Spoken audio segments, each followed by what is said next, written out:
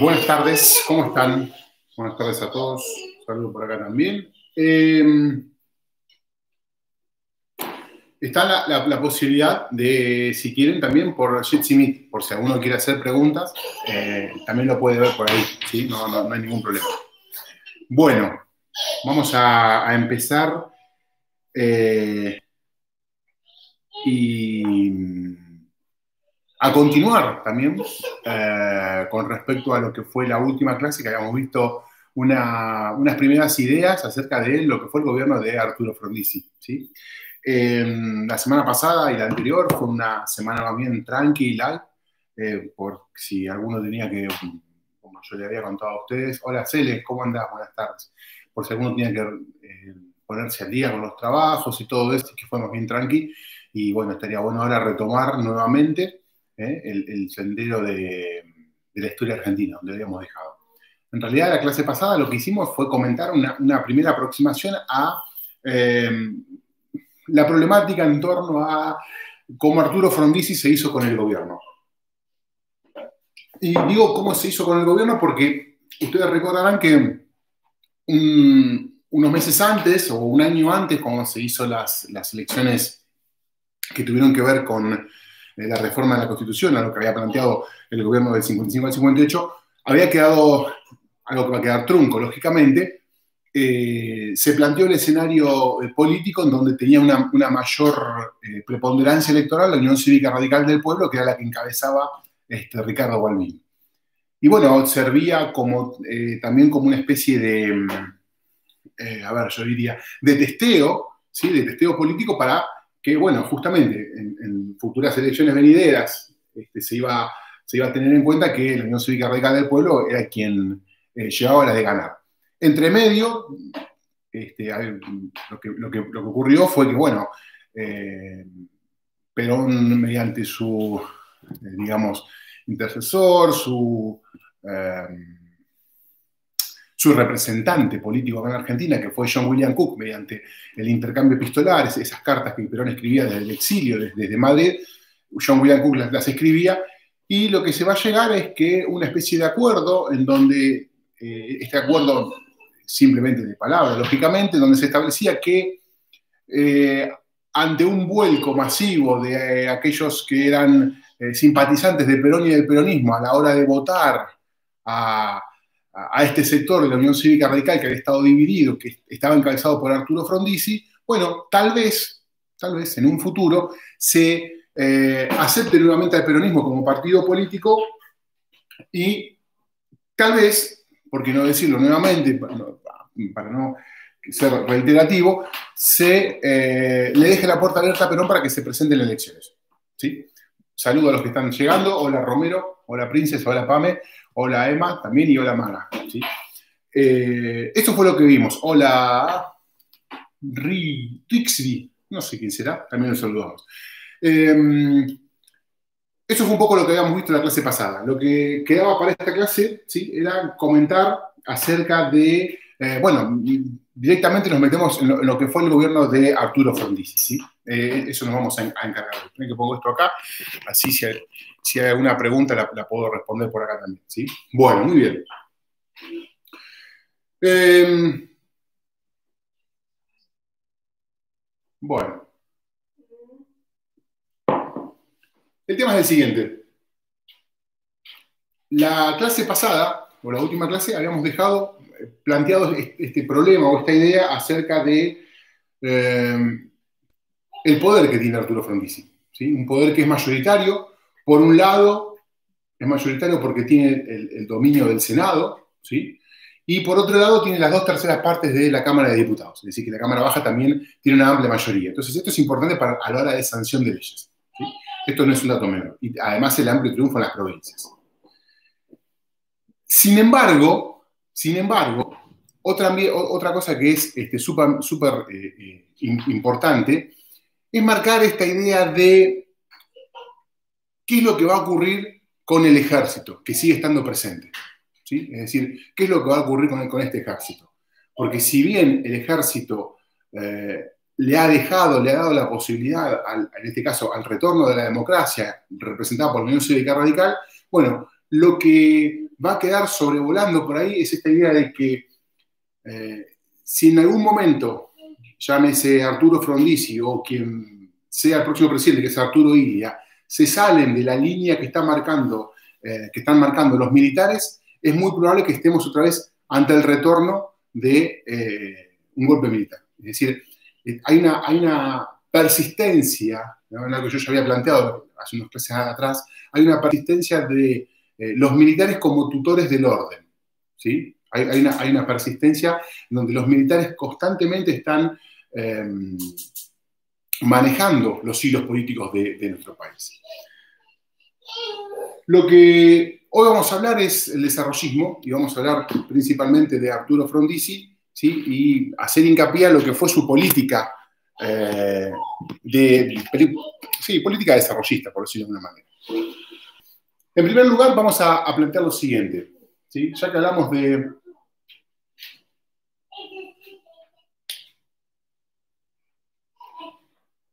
Desarrollismo, planteamos lo siguiente. Frondizi es desarrollista. ¿sí? Frondizi es desarrollismo puro. O sea, fue tal vez el, primer gobierno que se planteó seriamente en la historia argentina, en la historia democrática, eh, eh, democráticamente este, que es moderna y que es nueva, es más bien acotada, pero fue el primer gobierno que se va a plantear esta idea de, esta necesidad, mejor dicho, de desarrollar, ¿sí? de desarrollar directamente eh, los resortes o los tensores que estaban flojos en nuestro país. No se va a dejar de lado, no se va a dejar de lado esta idea de eh, darle importancia al campo, ¿sí? pero sí se va a tener en cuenta cuáles son esas cuestiones que eh, nuestro país, estamos hablando de Argentina, tenía flojas. Es decir, el desarrollismo plantea eso. Entonces, ¿qué es el desarrollismo? Es una, pregunta que tenemos que hacer. El desarrollismo es una teoría económica, en realidad fue una teoría económica que se planteó en, eh, surge en Francia en realidad a la mitad del siglo pasado, ¿sí?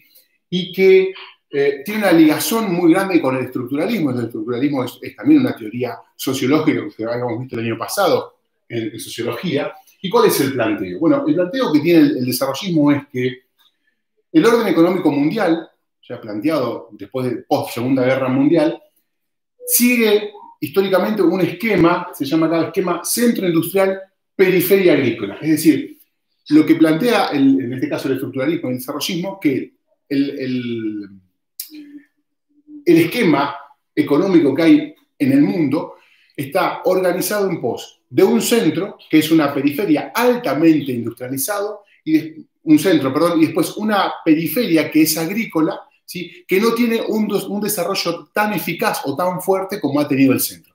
Bueno, estas son teorías ¿sí? que toman esta idea de centro y periferia, que seguramente ustedes la, han visto en, economía en algún momento, que la ha planteado la Yuyi y otros economistas más. Entonces, ¿qué es lo que plantea el desarrollismo? Bueno, para el desarrollismo, para suplir justamente esta, esta dicotomía que hay entre un centro altamente desarrollado y una periferia no tan desarrollada o subdesarrollada, bueno, esa situación, ¿sí? para poder salvarla, lo que tienen que hacer los países que no están desarrollados o altamente desarrollados, deben tener estados activos. O sea, el Estado tiene que dejar de ser un, un Estado pasivo y tiene que pasar a ser un Estado completamente activo. Esa es la solución que dan ellos. ¿Y dónde justamente recaen esta idea de activar al Estado? Bueno, la industria. El primer motor que tiene que tener un Estado para que sea verdaderamente eficaz e implementar, justamente el desarrollismo es la industria. Es decir, de esa manera, de esa manera un Estado va a lograr lo que para estos estructuralistas o estos desarrollistas teóricos franceses se va a llamar el desarrollo autónomo de una nación. ¿Sí? Como yo les planteaba, el desarrollismo es una teoría económica que surge en Francia a mitad del siglo, a mitad del siglo XX, aproximadamente año 55 más o menos surge, que en, Latinoamérica también va a tener eh, un, centro donde va a acaparar esta teoría, es decir, que la va a tomar, va a recoger esa, teoría y esa, idea, y que va a ser la CEPAL. ¿sí?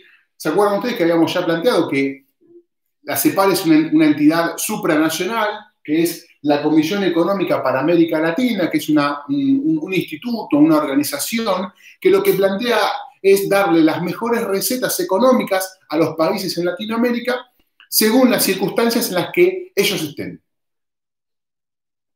Es decir, es como si uno va a un médico y te dice, bueno, vos tenés un dolor de cabeza, tomate este, este geniol, o vos tenés un dolor eh, del pie, te va a dar este, alguna pomada, o...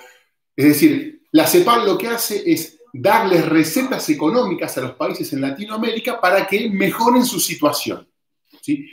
Lógicamente, cada país tiene una realidad económica diferente al otro. Entonces, lo que, lo que se busca con esto es que justamente la CEPAL dé las mejores recetas económicas. La CEPAL toma esta idea del desarrollismo, esta, idea del estructuralismo y la pone justamente en juego. El primero que va a tener una experiencia similar a lo que se llama el desarrollismo va a ser Brasil, con Juscelino Kubitschek, que fue un presidente que tuvo Brasil en finales de los 50 y principios de los 60. Una muy, gran, muy buena presidencia que va a tener Brasil, que después se va a ver trunca por la llegada de la era de los coroneles, que es, eh, es un periodo donde van a gobernar sin militares en Brasil, que va a anticipar lo que va a ser la década del 70 en toda América Latina, ¿no? Recuerden ustedes, golpe de Estado en Chile, golpe de Estado en Argentina, golpe de Estado en Paraguay, después en Uruguay. Es decir, eh, la era de los coroneles se inaugura ese periodo oscuro que tiene América Latina. No nos adelantamos con eso, pues lo vamos a ver más adelante, pero sí quiero retener esta idea de que el desarrollismo se implementó en América Latina en los años 50 con Juscelino Kubitschek, que fue un presidente que tuvo Brasil. Ahora bien, esta teoría desarrollista en América Latina, como yo les dije recién, sí se llevó a cabo en, eh, en Brasil, ¿sí? y también se va a llevar a cabo en la Argentina. ¿Por qué se va a llevar a cabo en la Argentina? Porque justamente quien lo va a implementar en la Argentina va a ser Arturo Frondizi. ¿Sí? Va a ser Arturo Frondizi. En la CEPAL. Sí, pregunta. ¿Sí? ¿Alguna pregunta era? No, perdón.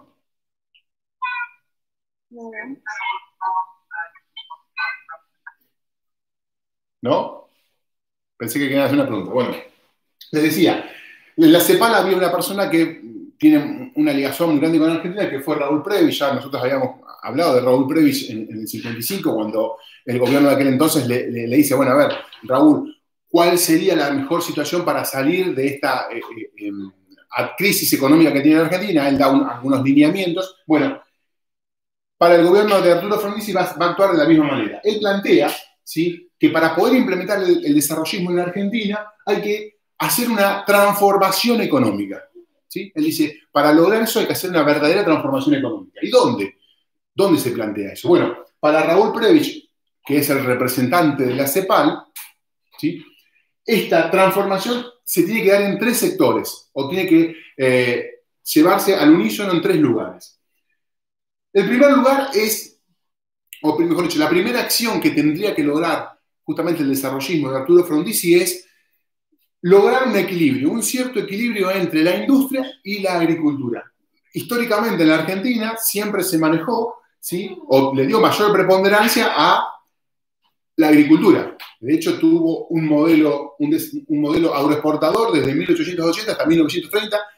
Fueron casi 50 años, donde Argentina basó todo su, eh, su potencial de exportación e importación en base a la agricultura. Cuando llega el golpe del 30, el golpe de, de, Uriburu a um, Hipólito Yrigoyen, se deja un poco de lado a la agricultura y se implementa un sistema económico que es el ICI, industrialización por sustitución de importaciones. O sea, se le da mucha importancia a la industria. Cuando se produce, tiempo más tarde, el golpe del GO y después el gobierno del Perón, por la implementación del plan quinquenal, recuerden ustedes que había que desarrollar la industria, pero quien iba a sostener el desarrollo de esa industria tenía que ser el campo. Es decir, el campo era el, resorte para la expansión de la industria. ¿Se acuerdan ustedes muy bien de eso? Que acá es cuando nace, yo siempre digo lo mismo, acá es cuando nace esta, esta eh, idea de eh, bueno, el, campo es el sector antipatria, son los que se llevan siempre las de ganar, cuando en realidad el campo es el motor de crecimiento de la Argentina, siempre lo ha sido así, y se debe reconocer eso. Lógicamente los tipos tienen su ganancia, ¿no? Pero esta, fue una idea que planteó el peronismo ya en la época del primer plan quinquenal y mucho más el segundo, que bueno, que va a quedar trunco, lógicamente. Entonces, lo que plantea la CEPAL es que para poder lograr un desarrollo, eh, el desarrollismo o implementar esta política desarrollista, lo que se tiene que lograr es un cierto equilibrio. ¿sí? Es decir, este equilibrio, ¿qué, tiene que ser? Bueno, un desarrollo importante de la agricultura, ¿sí? lógicamente, pero lo que hay que incentivar es la industria. ¿Por qué? Porque otra vez vuelvo lo mismo. Según la teoría del desarrollismo o estructuralismo, para poder lograr justamente que esta situación, este desborde que hay entre el centro y la periferia, lo que debe haber ¿sí? es tener un Estado activo que active justamente la industria para poder tener un desarrollo autónomo. No sé si soy claro con esta idea, ¿sí? porque si yo comprendo esto, veo de qué manera se va a poder implementar justamente esta idea desarrollista.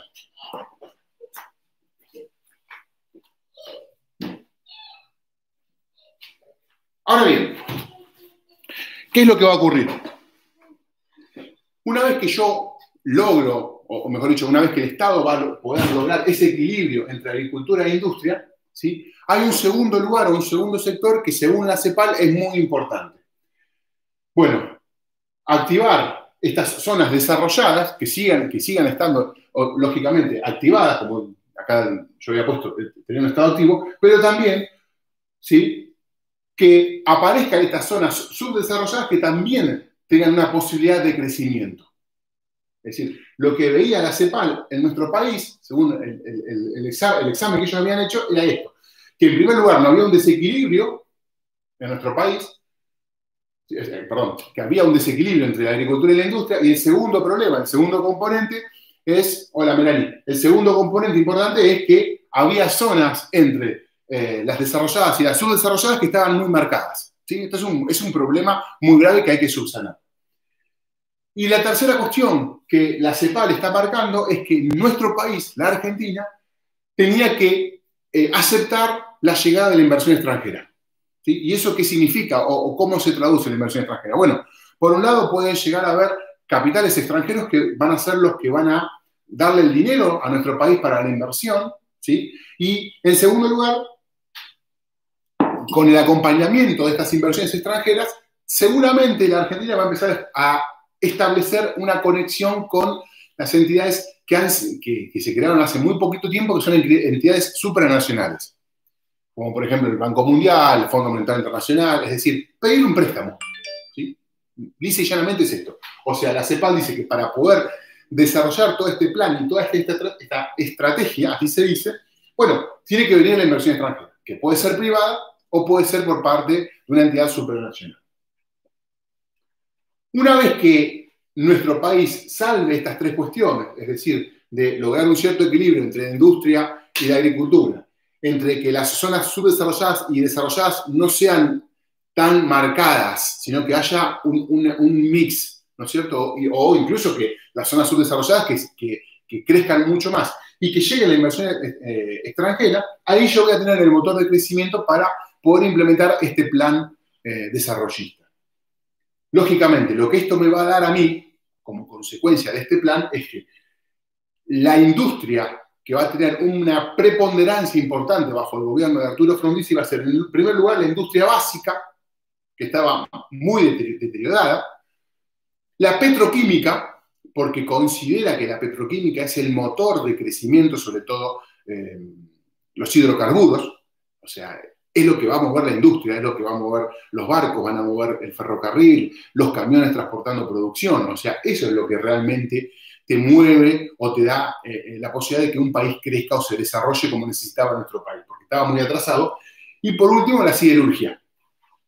La siderurgia es altamente, este, tiene, tiene, tiene un potencial muy importante ¿sí? para, poder desarrollar lo que yo estoy diciendo. O sea, vos con la siderurgia podés, eh, bueno, construir barcos, un tendido del ferrocarril, puedes mejorar los camiones, puedes, o sea, crear más, más fábricas, es decir, es muy importante la siderurgia.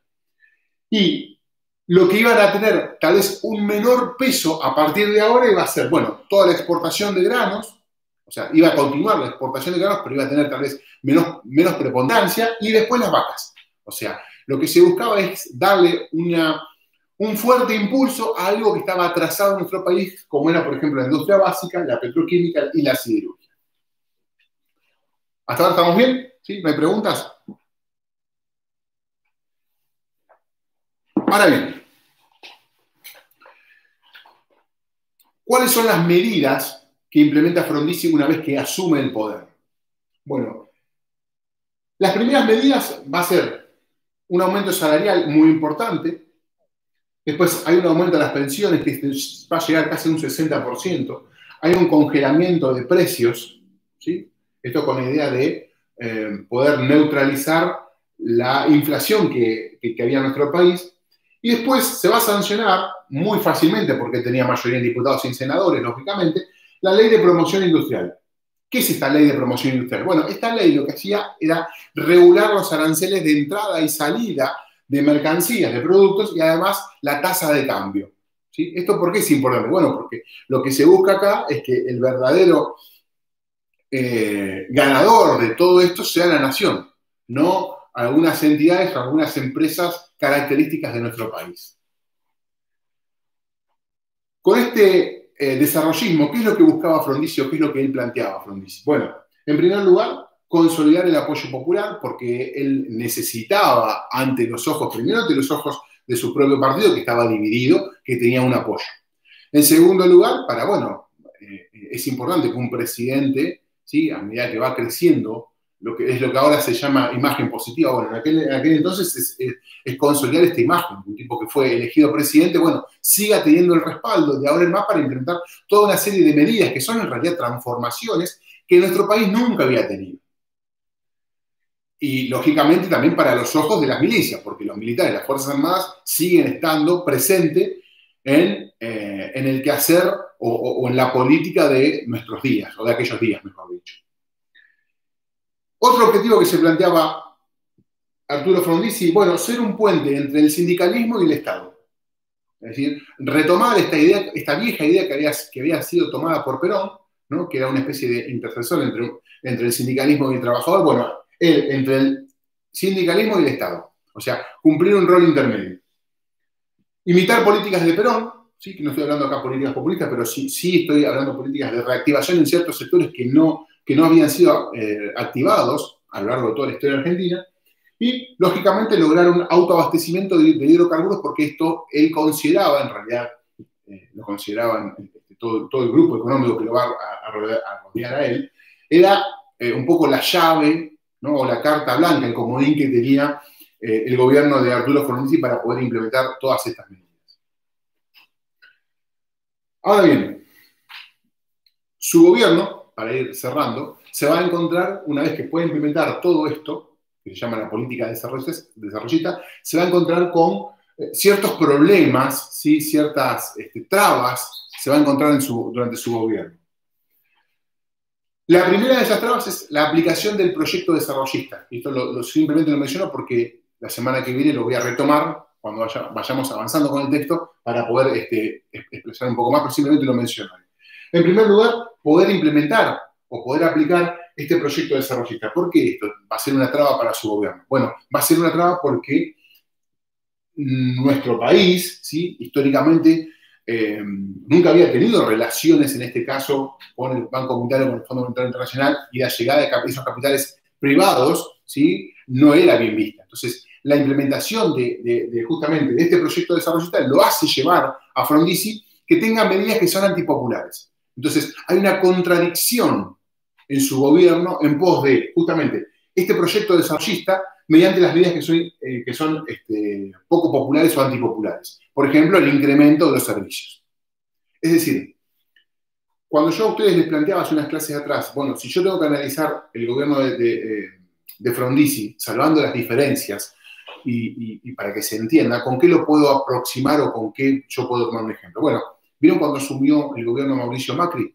¿Sí? Hace ya un poquito más de cuatro años, ¿sí? justamente. Ustedes se encontraron que cuando asume eh, Macri hay una ondanada o un aire fresco, ¿sí? de renovación, podemos decirlo, porque el Partido Peronista había gobernado mucho tiempo. Entonces, bueno, Macri intenta implementarse una cierta cantidad de paquetes o medidas que en algún momento son antipopulares, pero bueno, la gente las apoya, pero al continuar su gobierno, esas medidas eh, no, no, se hacen más flexibles, sino que al contrario, se ajustan mucho más. Entonces nos encontramos con un aumento, por ejemplo, del gas, un aumento de la luz, que por cierto estaba barata. Pero ahora, ¿sí? esos impuestos son extremadamente caros y no todas las personas o todas las familias lo podían pagar. Entonces, esas medidas, ese esfuerzo, para muchos argentinos fueron unas medidas antipopulares. Y de hecho es lo que se le va a achacar al gobierno de Mauricio Macri de no, no tener una sensibilidad política mayor para poder este, tener una experiencia presidencial de cuatro años más. Es decir, si yo quiero entender el gobierno de Arturo Frondizi, bueno, lo tengo que, a los ojos de hoy en día, a los ojos contemporáneos, aproximar a esas medidas que implementó Mauricio Macri en, su gobierno, que bueno, pueden ser lógicamente el aumento, eh, como recién le decía, el, aumento de eh, los servicios, ¿sí? el, aumento del, transporte, de servicios eléctricos, el gas, por ejemplo, el agua. ¿sí? Son medidas antipopulares. Entonces, para aplicar este proyecto de desarrollista, él va a encontrar con algunas trabas que son este, particulares de la época esa. El segundo problema que se va a encontrar en su gobierno, digo, estos, estos cuatro problemas van a ser un poco un detonante del gobierno de Arturo Frondizi, es la implementación del plan Conintes. ¿Qué es el plan Conintes? Bueno, esto nos va a llevar por ahí mayor tiempo, pero lo voy a abreviar. El plan Conintes es Plan de Conmoción Interna del Estado. Es una, una abreviación de Conintes, es Conmoción Interna del Estado. ¿Qué significa esto? Bueno, acá nos tenemos que meter un poco en el contexto. En los años finales del 50, principios del 60, en el mundo, hay un avance muy importante de políticas que, de, ideales, perdón, que no son eh, bien vistos por los militares. Yo les había contado a ustedes al principio de esta clase que los militares siguen estando presentes. Tal vez no gobernando, pero siguen mirando este, por encima al gobierno, ¿no es cierto? A ver si el gobierno se sale de alguna línea o hay algún desequilibrio, le llama la atención. De hecho, se lo va a marcar cuando en algún momento Arturo Frondizi se encuentre, por ejemplo, con, con, este, Che Guevara o se encuentre con Fidel Castro en Montevideo, se lo va a hacer notar que, se va a hacer notar que eso no fue de su agrado. Entonces, la implementación del plan Conintes es eh, justamente una herramienta que tenía el Estado para ingresar a las fábricas, por ejemplo, y detener a aquellos sindicalistas o aquellos obreros que tenían una ideología contraria al gobierno o contraria en realidad no el gobierno, porque el gobierno tiene una, tendencia más bien eh, socialista o de izquierda, pero sí contraria a las aspiraciones que tenía el ejército. Es decir, si en alguna fábrica había gente que, hablaba acerca de Marx, Engels o del comunismo, del socialismo, bueno, el Estado tenía la posibilidad mediante eh, las Fuerzas Armadas o la policía de entrar y llevarse, arrestar a esas personas y hacer una especie de averiguación de antecedentes. Es decir, nada más lejos que romper eh, eh, los derechos que tenemos todos, cada uno de nosotros los argentinos. O sea, esto es, una violación, este, primero al pensamiento, a la libertad de, ideología, en primer lugar. Eh, y después es, una, es, una intromisión por parte del Estado al, movimiento obrero. Entonces, esto es decir, también va a ayudar a que el gobierno de Arturo Frondizi no sea bien visto con el paso del tiempo. El tercer problema que se va a encontrar el gobierno de Arturo Frondizi es, lógicamente, bueno, un poco anexionado a la aplicación del proyecto desarrollista, que no lo va a poder aplicar en todo su, en todo su caudal, en, toda, en, en su idea de estos seis años de gobierno, bueno, esto va a eclosionar en un, problema económico muy serio. Y de hecho, va a precipitar su gobierno. Aunque no es tanto por el, problema económico, ¿sí? pero sí el problema económico cíclicamente en Argentina, en todos los gobiernos, siempre va a haber un problema económico. ¿sí? Y por último, el último punto que hay que decir es el problema este, educativo. ¿sí? ¿Por qué? Porque lo que va a permitir Arturo Frondizi es que aparezcan entidades de enseñanza, en este caso universidades, que sean privadas. Y ustedes sabrán que las, entidades este, privadas en ese entonces bueno, corrían por parte del Estado o, si no, algunas universidades las podían llevar a cabo la iglesia. la iglesia tenía esa autoridad. Bueno, es como que a la, iglesia le aparece un competidor. Y esto, lógicamente, no, no va a estar bien visto y va a tener una, crítica muy grande por parte de la iglesia. Es decir, estamos en presencia de cuatro problemas que se van a ir acrecentando durante la última época de su, a mediados en realidad de su gobierno, que van a eh, precipitar su salida anticipada en 1962 y el reemplazo por José María Guido. ¿sí? Bueno, bajo acá un poquito porque así ahora me quedo más, cómodo más bajo. Eh, una vez terminado esto, yo voy a, pasar el, cuadro este, ¿sí? una vez que yo lo, complete acá un poquito algunas cosas, yo los voy a pasar porque si alguno lo quiere tener a la hora de, eh, nada, de, como guía o como herramienta, como ayuda para poder este, encarar el, trabajo práctico. Eh, vamos a hacer una, modalidad para el trabajo práctico. ¿sí? ¿Cuál, ¿Cuál va a ser la modalidad? Eh, ¿Alguno de ustedes, y les pregunto a los que están conectados acá en Chitimit, ha entrado a la, página, de, al blog en realidad de, historia?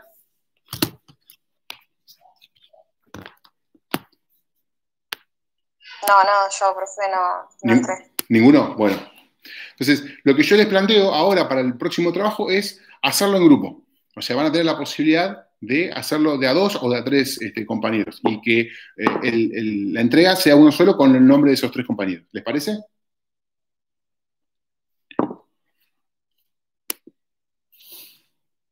¿Sí o no? ¿Sí? Bueno, entonces, la idea de esto es, nada, hacerlo por ahí un poquito más, eh, más laxo, más no sé si la palabra sería entretenido, pero sí eh, buscar, bueno, otro mecanismo para poder este, encarar el, trabajo práctico, ¿sí? Em, los que están acá en YouTube, yo me, despido, me quedo acá en Shinsimid hablando un ratito más con los que están presentes, así que, bueno, les dejo un abrazo grande y gracias por eh, estar en la clase. Nos encontramos en la clase que viene, vamos a hablar de estos cuatro pormenores que en realidad no son pormenores, sino que van a declinar o van a, eh, poner fin al gobierno de Arturo Frondizi. Un abrazo grande, nos vemos la próxima.